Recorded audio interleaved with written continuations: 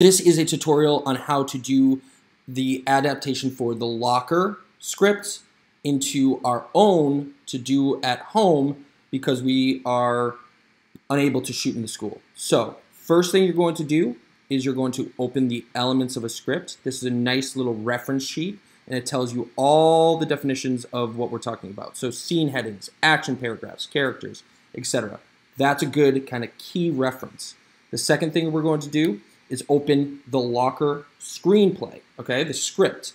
This is the original script. It's about school hallway and everything. What we're trying to do is we're trying to take this script and adapt it in Celtx script writing software in order for it to make sense to be recorded at home as a film. So you'll notice that I have created my Celtx script. It's blank. We start with scene heading right here.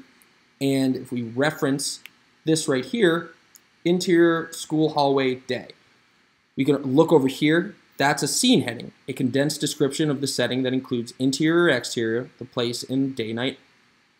So here, instead of interior school hallway, we're probably going to film at home. So maybe it's going to be interior kitchen.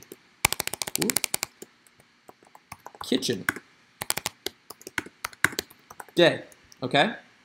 So that's where our scene heading is. That's where our scene is going to take place. If I hit enter, it intuitively knows that it went to the action paragraph.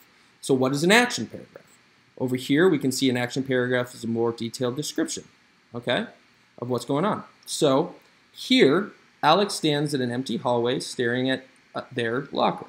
So we can take this, but we may may want to change the characters' names. We wait, we've already changed where our setting is. So we're going to put, let's say, Jeremy stands in an empty kitchen, staring at a, it's not going to be a locker, but maybe it's a cabinet, right? And so we're adapting the script from here.